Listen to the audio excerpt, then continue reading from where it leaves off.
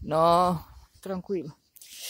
He, ljudi, evo ja završavam polagano, cementiram, znači, opet sam stala, haos je u dvorištu, sad u sedam i po, već u šest moram biti u Bolonji, znači u sedam i po moram ići tamo kod advokata i kod notaja, da se potpiše prodaja tog stana i da, eto, da se podele pare i svako svojim putem, ne?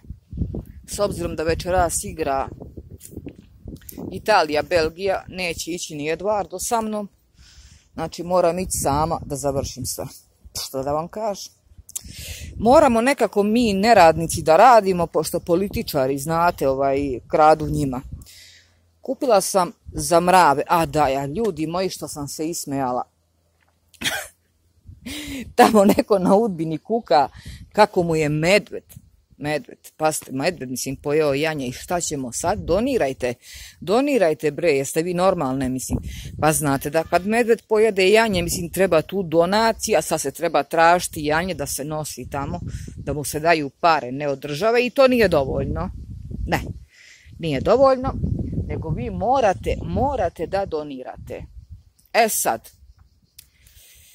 s obzirom da je jedan vuk ubijen, kako ćemo sad sa medvedom, mislim.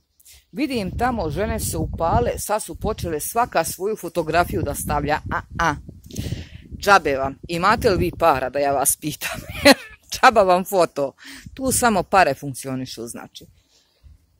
Ovaj, stavljaju svoje fotografije samo naprijed, molimo se Bogu, ljudi moji, to je medved, mislim. Žene, smirte se polagano, udaće vas klimaks, neke je već udario, mislim, ali udarit će vas na jaki klimaks, posto toga šta ćete da radite. Ne, zaista, mislim, pa zar vam nije lakše da vi njemu pošaljete para? I ono, nemojte se moliti, nije, nije to svrha tog kanala, znači. Ste vi lepo čuli šta on kaže? On lepo kaže hvala, on lepo kaže hvala na donaciju, on lepo kaže ovaj iz tvog sam džepa mnogo toga pojeo. Svatate vi to, žene drage? Pa vi džabe, mislim, da šaljete tamo fotografije i da se molite. Ne, medved je medved, uvek je jeo, uvek će da jede, znači, naravno to što nađe mora se prehrani. Mislim, s obzirom da vi svi zaboravljate da medved, pa šta će da lovi, mislim, od čega će da se hrani medved ili vuk? Svaki stočar dole zna da ide u susret tome, e sad ljudi ili zagrađuju, ili normalno čuvaju. A šta ćemo ovaj, e, kad se nađe pas i medved zajedno, ne? Vi znate, mislim, jel, da li ste vi uopšte svesne šta vi pišete tamo i šta vam priča taj? Znači, ja sam sad spremna da žrtvujem sve moje pse koje toliko volim, kažem da ih volim, ne u stvari, mislim, sad nema veze da li ih volim ili ih ne volim, ali sam spreman da ih žrtvujem sve, ako medved, kako kaže on, ščapi jedno janje. Zamisli tu ljubav između čoveka i psa, ne? Žrtvuju se svi. Mislim, žrtvuj se. Moraš, ti si pas, ja sam čovek, znači ja te držim da čuvaš moje stado. E sad, šta je važnije, janje ili pas? Janje. Važnije je jedno janje nego četiri psa. Zamislite vi to. Ko koga više voli? Kako se da dođemo, kako da razriješimo tu dilemu, ne? Između janjeta i četiri psa. A čovek voli pse. Ne, čovek ih voli, mislim. Čovek ih je odgajio. Kako on kaže, to, to mi je kao ukućan. Ali, ali, ali, ja ću da žrtvujem sva četiri psa, s obzirom da jedan pas nemoguće je. Ma koje rase on bio da zaustavi medveda, mislim, ne znam da ste ikad vidjeli medveda uživo. Ovde ih ima, ima i vukova, mi ih ne lovimo. Ovde stočari uzimaju mere takve da stave ogradu sa elektrikom normalno. Nema šansa se približi medo ili ovaj vuk, ne? Ali ponekad se desi kod nekih koji nema, nisu u toj mogućnosti da stave to i ljudi su to već stavili znači u opciju s obzirom da država posto ga ih likvidira novcem, ne ubio ti je medved ili vuk, ovde je zabranjeno da ih loviš kad ti hoćeš i da ih razapinješ, ne znam, tamo na, na neke na neke ulaze u neka sela, ne? u neka selendra i ovaj ovde imaš, ovde je zakon takav. E sad, mnogi će se pitaju, ufu, a šta ćemo ako se ubiju svi vukovi i svi medvedi, ne? Šta ćemo ako ih više nema? Šta ćemo? Da li znate koliko se postoga menja sve oko nas? Mislim, niste svesni. To vam je onaj mentalitet.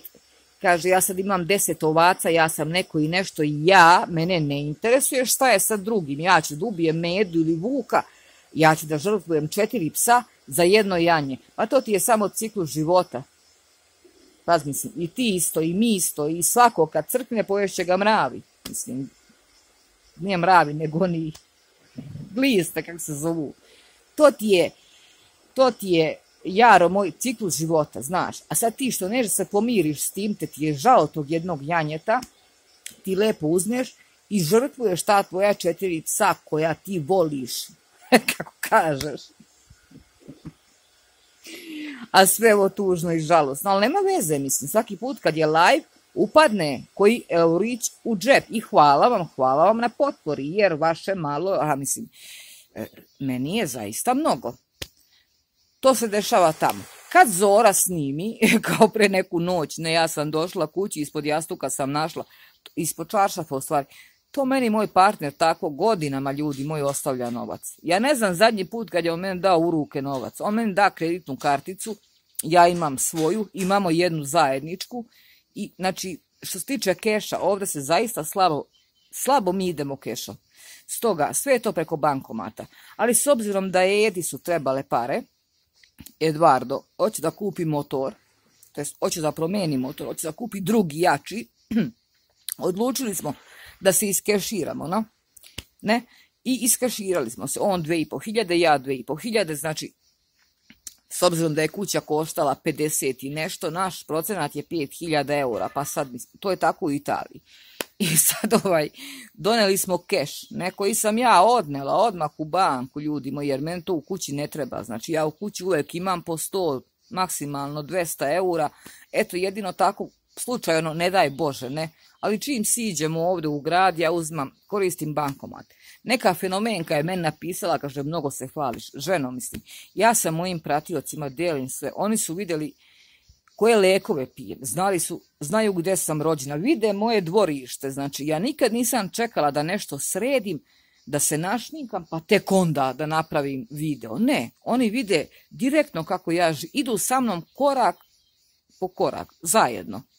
I to meni nisu pratitelji, za razliku od tog tvog tamo šamana, ne. To su, to, je, to su meni prijatelji, ja njih ne gledam kao pratitelji. Ovo nije YouTube gdje se zarađuje, ja koliko puta moram da vam kažem, mislim, zaista, nema zarade, znači mi ovdje radimo gratis. Eto, na primjer, ja sad imam trenutno sedam mački, ali pazite, kad bi ja morala da zaberem između mojih sedam mački ili ne znam tamo nečega drugog, ja bi uvek izabrala mojih sedam mački. Da li bi ja pusla medu da mi pojede, ne znam, janje? Pa bih, ljudi moji, žao mi je janjeta, ali žao mi je i medveda. Znam da je to ciklus života, ne može da se zaustavi. Ili jedino samo svi da uzmemo sad puške pa da postane divlji Teksas, ne? Pa da pucamo po životnjama. Ne, to tako ne ide ali tamo negdje tako to ide. Stoga vi pratite taj, taj vaš tamo, te, vaše ovce tamo, puste mene na miru, znači vidite da ja nemam, da ja nemam ni leba da jedem, bre, tamo neko svaki dan jede janjetinu, ja o Bogam nemam ništa da jedem.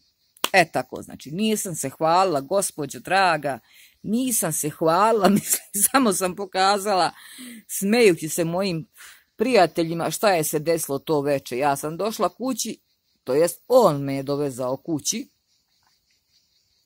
i ostavio mi je ispod čaršafa 2500 eura. Šta ima loše u tome? Za mene je to normala koje sam ja drugi dan odnela u banku i stavila.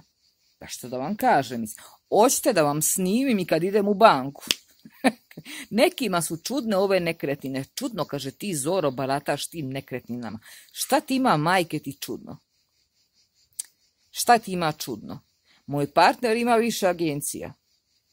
Ja, umjesto njega, ja u njegovo ime idem, dogovorim se sa osobama koje hoće da prodaju u kući ili kupujem kuće na licitaciji i prodajem ih, kao što radi njegov sin, znači. Ali imamo, on nam je gazda, mislim, sve to komanduje on. mi smo praktički, eto, dva radnika na neki način. Da nismo ni dva radnika, to je sve u familiji, ali šta ima tu čudno?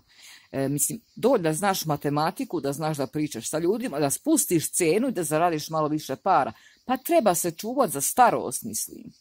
Ja vam preporučujem tamo svima da vi prodajete nešto, ako ništa, ako imate zlatni zub kod neke babe, vi ga izvatete, prodajte, pošaljite tamo tom vašem čobanu. Mislim. Pa i to je isto posao, morate uvijek, nisu dovoljne vaše fotografice. Ne.